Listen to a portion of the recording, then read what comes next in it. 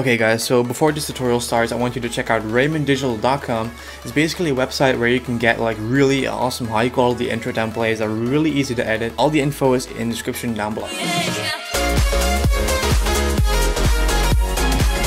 What's happening guys, my name is Alex and welcome back to a brand new Vegas Pro 14 tutorial and in this video I'm going to show you guys how to create a fire effect. So, so how this is going to work is we're going to download a video from YouTube and we're going to just place that into our timeline, remove the background so that we have only the fire. So I would say let's get started. So as you guys can see right now, I'm, I'm in I Vegas open and what we're going to do is we're going to go ahead and we're going to over go over to the folder where we have the fire. And as you guys can see right now, this is just a fire effect I just got off YouTube, just fire black background. I just downloaded that video and let's go ahead and place it on our timeline.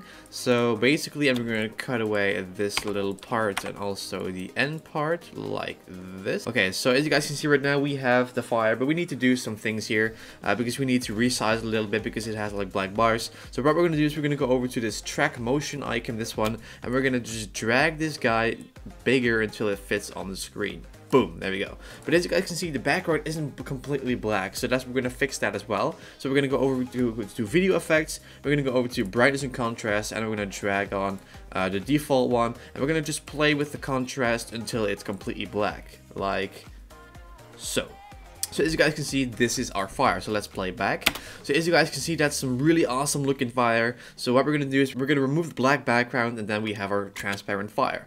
So what I'm going to do is I'm going to use a, a little background. I'm just going to use this cringe thumbnail uh, of the new of the new of the new video that's coming uh, Thursday. So as you guys can see right now, this is just a thumbnail of Thursday of tomorrow's video is actually for you guys, and I'm just gonna place that guy under the fire. So as you guys can see right now, we have the fire on top. What we're gonna do is we're gonna go over to video effects. We're gonna pick our chroma key. We're gonna drag the default one on top of it. We're gonna go over to this color bar, and we're gonna drag this guy to the black. And as you guys can see, we can see through the fire. But what we need to do is we're gonna play with a low threshold until it looks looks really good. This is not looking too well.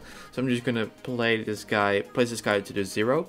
Then the high threshold is like, as you can see, like around the fire. So we're gonna place with that until you're happy with it. So I would say this fire looks great. And then we have the blur amount, the edges. So this is too much blur, this is too less. I'm gonna play around with it. Looks very good. So I think this fire looks awesome, guys.